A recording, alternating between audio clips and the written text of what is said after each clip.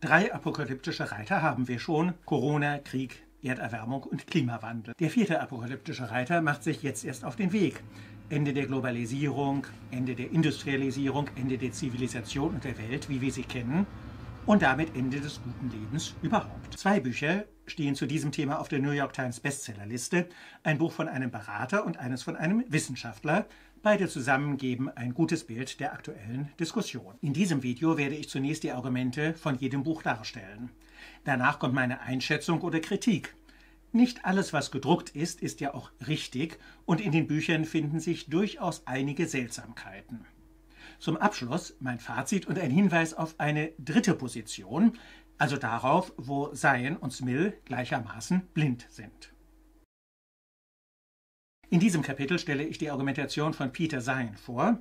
Er ist Amerikaner, deswegen Peter Sein und nicht Peter Zallhahn. Ob das stimmt und was ich davon halte, das verrate ich am Schluss dieses Videos. Bleiben Sie dran. Seit dem Ende des Zweiten Weltkriegs garantiert die USA die globale Weltordnung. Insbesondere garantieren die USA den freien Welthandel.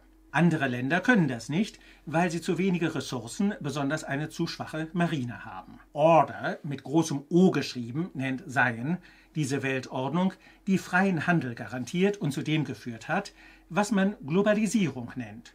Rohstoffe wie Öl und Kohle werden problemlos zwischen Ländern und Kontinenten gehandelt, genauso werden Zwischenprodukte und Fertigwaren frei gehandelt. Nun haben sich die Zeiten geändert und die USA garantieren nicht mehr die Order. Das wird den Welthandel verringern, vor allem durch Piraten, die Handelsschiffe abfangen werden. Dieses Piratenargument ist zentral für das Buch. Wenn Piraten den Welthandel weitgehend verhindern, dann hat das zwei Folgen. Einige Länder können ihre Bedarfe nicht mehr decken. Das betrifft insbesondere kleinere Länder. Die USA, das betont Seien immer wieder, die USA sind ein riesiges Land mit unterschiedlichsten Wirtschaftszweigen. Daher können sich die USA mit praktisch allen wichtigen Gütern selbst versorgen. Zweitens sinkt mit dem Welthandel auch die Spezialisierung. Spezialisierung ist mit Effizienzvorteilen verbunden. Weniger Spezialisierung heißt weniger Effizienz und damit weniger Wohlstand. Dieses Weltordnungsargument, konkret das Piratenargument, ist das zentrale Argument im Buch. Es gibt noch zwei weitere Argumente. Einige Länder haben seit Jahrzehnten eine geringe Geburtenrate. Jetzt fehlen dort Arbeitskräfte, es fehlen Konsumenten. Junge Menschen bezahlen für ihre Ausbildung, ein eigenes Haus, für die Familie. Ältere Menschen arbeiten weniger und konsumieren weniger. In Science Worten. We were in this hanging moment demographically. where we knew that birth rates had been dropping for decades. And that meant in a lot of the advanced world, we were rapidly running out of children. But we still had all kinds of adults that had not yet aged into retirement. So we had this massive block of workers and consumers that were driving every part of the economy that we would ever want to be driven. It wasn't sustainable because there were no children. But for about 35 years, we were in this glorious moment where all things were possible, where there's plenty of finance, where there were no security risks, and where anyone who wanted to play a part in the international trading system could. And it was backed up by just these massive waves of workers and consumers. It was perfect. It was temporary. Das letzte Argument ist der Klimawandel. Dadurch wird es an einigen Orten sehr trocken sein, an anderen Orten wird es sehr nass sein. Und das kann die Landwirtschaft behindern. All dies führt zu sinkendem Wohlstand, besonders auch in Deutschland. Im Original sagt Seien über Deutschland. The Germans rely on a large, robust, highly skilled workforce. But Germany has one of the fastest aging societies in the world. Until now, that's worked for them. Because if you have a lot of people in their late 40s to early 60s, you know, decades of experience, and none of them have kids, well, they can spend their, all their time working, and the state can spend all of their efforts on educating them to make them the most highly value-added workers in the world. But it's a bit of a starvation diet because eventually people who are in their 40s to 60s become in their 60s to 70s, and that's where Germany almost is now.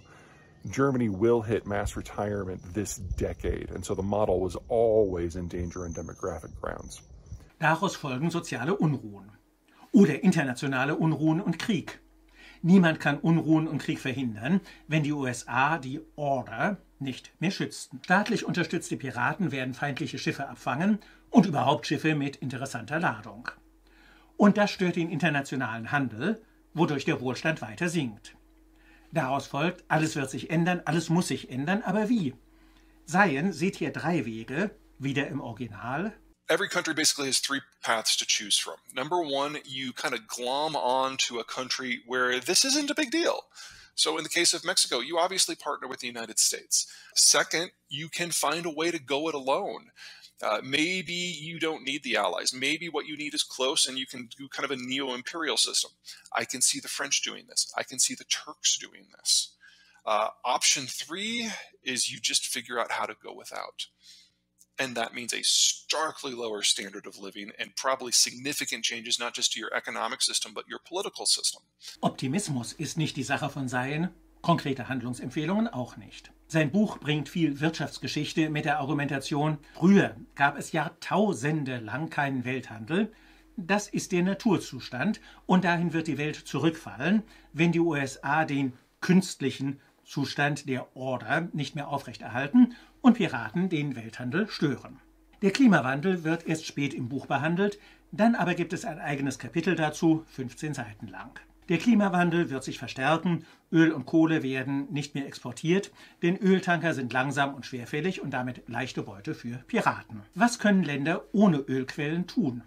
Sie können Braunkohle fördern und verbrennen oder sie können andere fossile Stoffe verbrennen, die vielleicht so verunreinigt sind, dass sie heute sicherlich nicht verbrannt werden.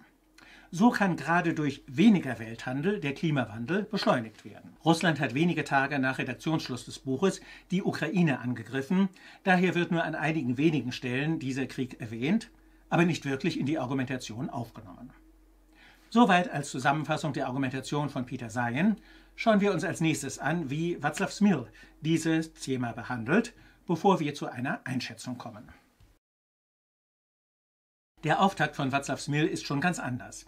Langfristige Vorhersagen über unsere Welt sind nicht möglich, weil hier zu viele Variablen mitspielen, sich diese Variablen immer wieder ändern und weil diese Variablen komplex aufeinander einwirken. In diesem Buch ist ein ganzes Kapitel mit Globalisierung überschrieben, andere Kapitel tragen auch zu unserem Thema bei. So geht es im ersten Kapitel um Energie in einem weiteren Sinne. So kann Wirtschaft gesehen werden als ein System, um Energie bereitzustellen, umzuwandeln und zu transferieren. Das zweite Kapitel behandelt Ernährung. Wie auch seien, sieht Smil die Verbesserung der Ernährung als Basis für Zivilisation. Zu Beginn der Menschheit wurde alle Zeit und Energie der Menschen gebraucht, um Nahrung zu beschaffen. Dann wurden Pflanzen angebaut und Tiere gehalten. Damit wurde Zeit frei und diese Zeit wurde genutzt, um Kultur zu entwickeln.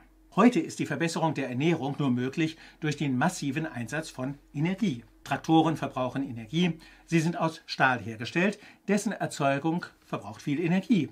Großer Energieeinsatz ist notwendig für Dünger- und Schädlingsbekämpfung und später für die Verarbeitung der Ernte.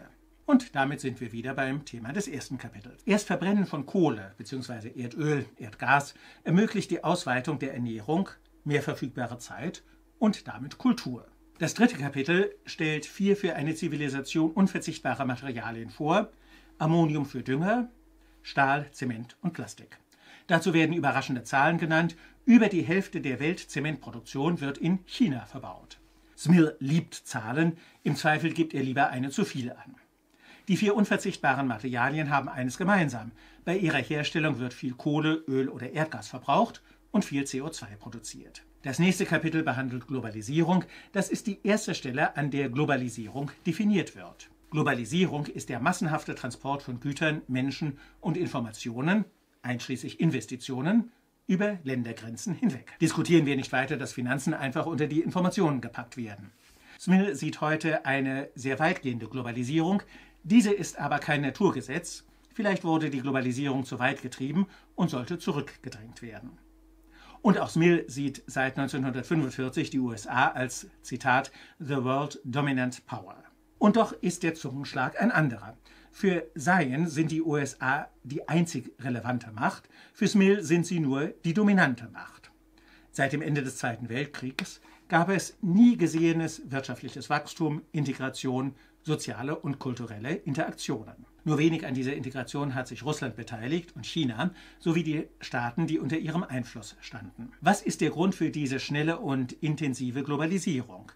Smil zählt technische Gründe auf. Bessere Dieselmotoren ermöglichen größere Schiffe, Andere Entwicklungen führten zu größeren Flugzeugen und der Container ermöglicht günstigen Transport von Stückgütern. Im Laufe der Jahre beteiligten sich Deutschland, Frankreich, Großbritannien und Japan stärker am Welthandel. Entsprechend reduzierte sich der Anteil der USA. Der Ölpreisanstieg ab 1973 bremste die Globalisierung kräftig. Aber nach ein paar Jahren von Anpassungen begann eine neue Runde der Globalisierung, im Laufe der Jahre auch mit China, Russland und Indien. Technisch hilft hier die Entwicklung, die mit dem Morschen Gesetz vorhergesagt wird. Also die immer weitere Verbesserung von Computertechnik, Halbleitern, von Rechenvermögen, der Kapazität von Computern überhaupt. Aber wirklich vorangetrieben haben die Globalisierung etwa zu Beginn des 21. Jahrhunderts der Zerfall der UdSSR und vor allem die politische Entwicklung in China, also keine technischen Faktoren.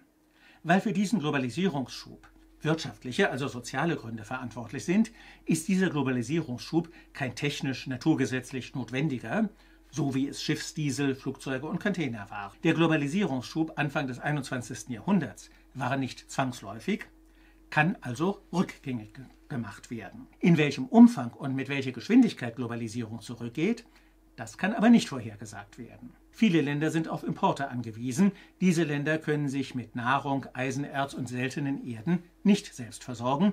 Daher wird wohl einige Globalisierung bleiben. Viel Produktion wandert von Europa, Nordamerika und Japan in andere asiatische Staaten, vor allem nach China. Das kann als Deindustrialisierung bezeichnet werden. Das Abwandern von Produktion führte zu einem Abbau von Arbeitsplätzen. In den USA wurden seit dem Jahr 2000 sieben Millionen Stellen in der Produktion abgebaut. Im gleichen Zeitraum stieg die Sterblichkeit weißer, nicht studierter Männer in den USA stark an. Todesursachen waren auch Suizide, Drogenüberdosis und Alkoholmissbrauch. Ein Zusammenhang mit dem Abbau von Arbeitsplätzen liegt nahe. Die Verlagerung von Produktion und der Abbau von Arbeitsplätzen haben zu einem eher weniger globalisierungsfreundlichen Klima geführt. Wahlergebnisse in Großbritannien und den USA zeigen dies. Zustimmend zitiert Smil eine Studie, nach der sich seit etwa 2007 die Lieferketten verkürzt und die weltweite Güteraustausch verringert hat. Die Studie verlinke ich in der Infobox. Eher zum Schmunzeln ist, dass Kanada mit riesigen Waldbeständen und Holzindustrie nun Zahnstocher aus China einführt, die dort günstiger produziert werden. Ernster ist die Abhängigkeit von chinesischen Lieferungen bei persönlicher Schutzausrüstung zu Beginn der Corona-Pandemie. Oder die Frage, was Netzwerkkomponenten von Huawei wirklich tun. Václav Sül möchte keine Prognosen abgeben, doch sein Fazit ist, wir könnten die Spitze der Globalisierung gesehen haben und ihr Abflauen könnte nicht nur die nächsten Jahre, sondern die nächsten Jahrzehnte dauern. Das folgende Kapitel hat den Titel Risiko verstehen. Korrekter wäre vielleicht verstehen, wie wir Menschen Risiken vermeiden wollen.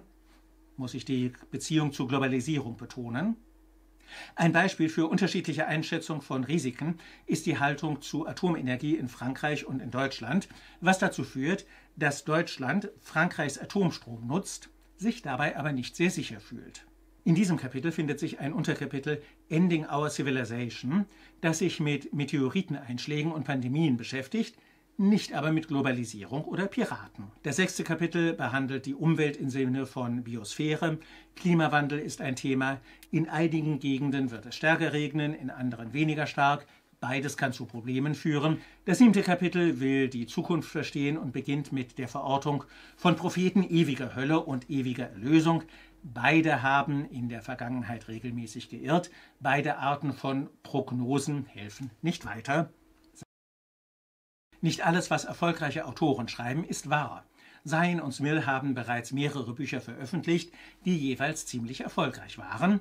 Schauen wir uns zunächst das Buch von Peter Sayen an.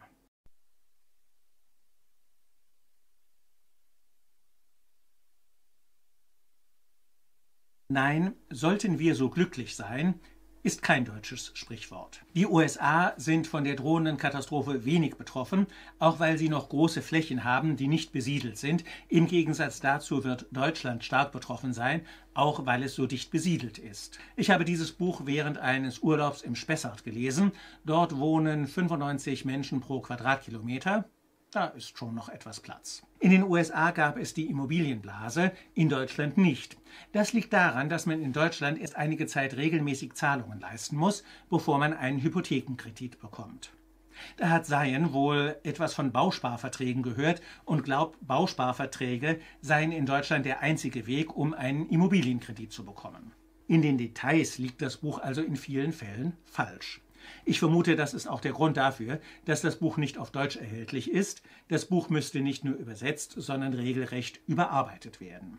Zu diesen Fehlern im Detail passt, dass Seien seine Quellen nicht nachweist. Woher er seine Informationen hat, das bleibt unbekannt.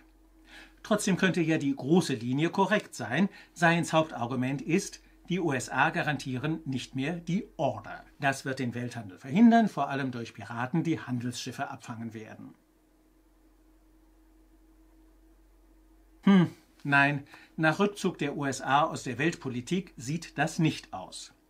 Seien schreibt nicht, wann oder wie die USA beschlossen haben, The Order nicht mehr zu unterstützen. Er hat fünf Jahre an dem Buch geschrieben, hat es also mit der Präsidentschaft von Donald Trump begonnen.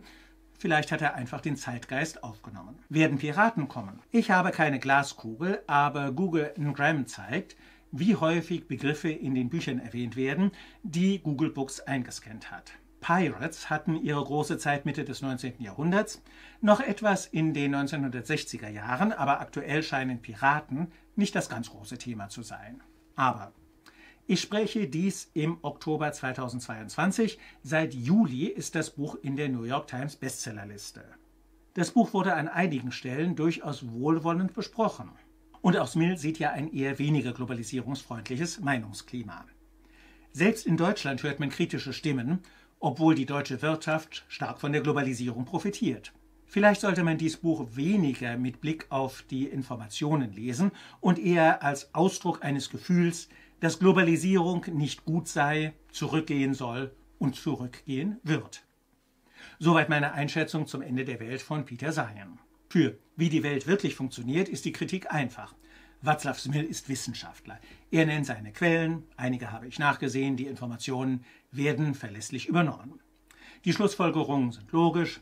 Wo Smil über die Fakten hinausgeht, da werden seine Formulierungen sehr vorsichtig. Vielleicht könnte Globalisierung zurückgehen, aber wann und in welchem Umfang, das kann man jetzt noch nicht vorhersagen.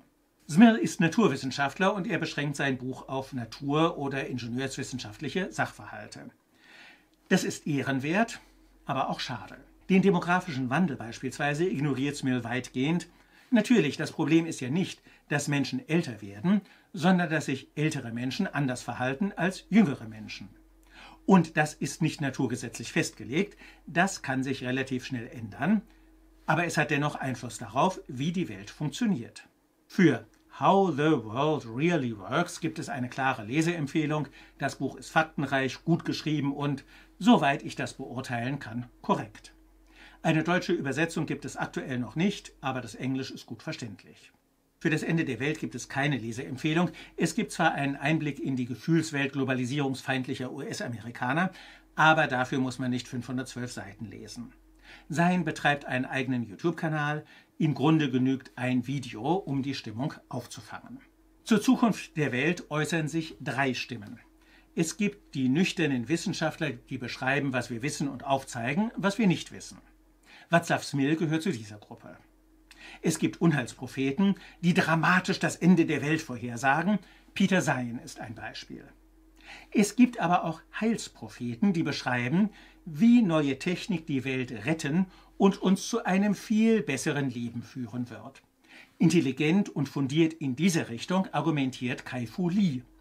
Für ihn ist es die künstliche Intelligenz, die uns eine, in eine bessere Zukunft führen wird. Zu seinem aktuellen Buch habe ich ein eigenes Video gedreht, das die Besprechung der Bücher von Peter Sein und Václav Smil gut ergänzt. Dieses Video verlinke ich hier und freue mich, Sie dort wiederzusehen. Bis dahin.